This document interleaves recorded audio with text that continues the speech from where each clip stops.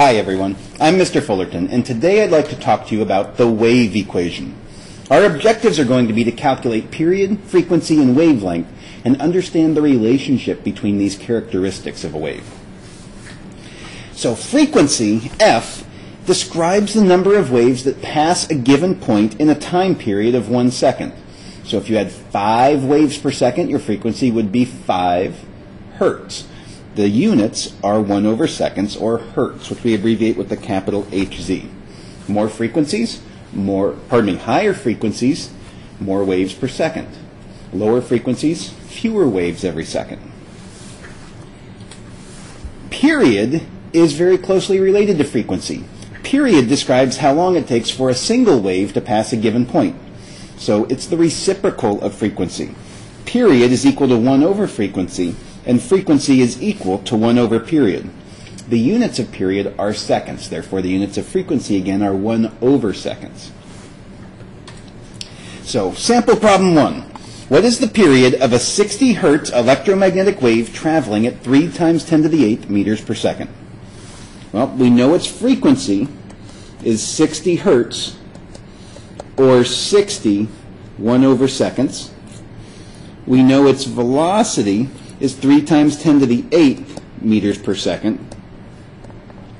We want to know what its period is. Well, to get period, if we have frequency, that's just 1 over the frequency, or 1 over 60 hertz, or 1 over 60 1 over seconds, which is equal to 0.0167. And if you have 1 over 1 over seconds, that's 0.0167 seconds.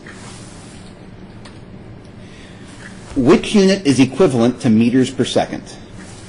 Well, a meter per second, 1 over a second is a hertz, so that must be a hertz times a meter, because a meter per second is 1 meter times 1 over seconds. Therefore, the correct answer must be 2, a hertz times a meter. One more. The product of a wave's frequency and its period is what? Well, frequency times period equals, well, if period is 1 over frequency, we could write this as frequency times 1 over frequency, which is equal to 1. So a wave's frequency times its period must always be 1. Now, when we talk about waves velocity, wave velocity, we have to realize that since waves travel through some sort of distance, they therefore have a velocity. They travel some distance in some amount of time. The velocity of a wave is a function of the type of wave and of the medium it travels through. That's very important. Wave velocity depends on two things the type of wave and the medium it travels through. For example, electromagnetic waves, things like light moving through a vacuum, travel at 3 times 10 to the 8th meters per second. That's such an important and common number in physics we use so often we give it the special abbreviation lowercase c. c is the speed of light or the speed of electromagnetic waves in a vacuum, 3 times 10 to the 8 meters per second. Really, really fast. The wave equation says for a given wave speed or wave velocity, as frequency increases, wavelength must decrease. So the wave velocity is equal to frequency times wavelength.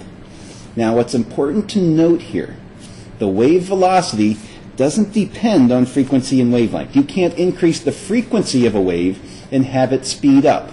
This is a relationship that shows you how the frequency and the wavelength are related. Let's see how this works. What is the wavelength of a wave having a frequency of 5 hertz, frequency is 5 hertz, and a speed of 10 meters per second? Well, if velocity is equal to frequency times wavelength, then we could say that wavelength equals velocity over frequency, or 10 meters per second, divided by 5 hertz, or 5 over seconds, is going to give us a wavelength of 2 meters. Pretty straightforward. Let's try another one. If the amplitude of a wave is increased, the frequency of the wave will decrease, increase, or remain the same. Well, if you recall, we don't have any relationship between amplitude and frequency. So, If amplitude goes up, doesn't do a thing to the frequency. The amplitude is independent of frequency, so the frequency will, 3, remain the same. An electromagnetic wave traveling through a vacuum has a wavelength of 1.5 times 10 to the minus 1 meters. What is the period of this electromagnetic wave? All right. Well, we know that it has a wavelength, lambda, of 1.5 times 10 to the minus 1 meters. And since it's an electromagnetic wave traveling through a vacuum, we know its velocity is that constant c, or 3 times 10 to the 8th meters per second. We need to find period. Well, the wave equation says velocity is equal to frequency times wavelength, but that doesn't really tell us period. If you remember, though, period is 1 over frequency, or frequency is 1 over period.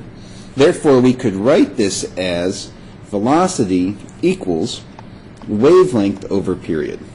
If we rearrange this now for period, period is going to equal wavelength over velocity, or 1.5 times 10 to the minus 1 meters over 3 times 10 to the 8th meters per second. And we'll be left with a period of 5 times 10 to the minus 10 seconds. Had a couple more steps in that problem, so you really have to know that relationship between frequency and period pretty well in order to be able to convert the two. Frequency is 1 over period, and period is 1 over frequency. Let's try one more.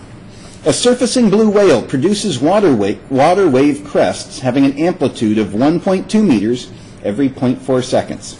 If the water wave travels at 4.5 meters per second, what is the wavelength? Well, in this case, we know velocity of the wave.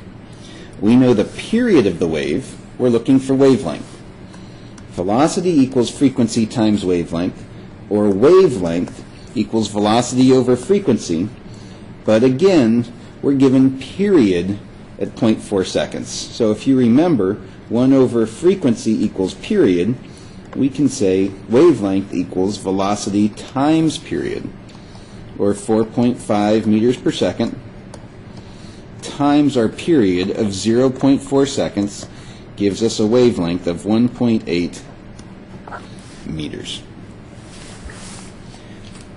Hopefully that gets you started with the wave equation and the relationship between frequency, period, wavelength, and wave velocity.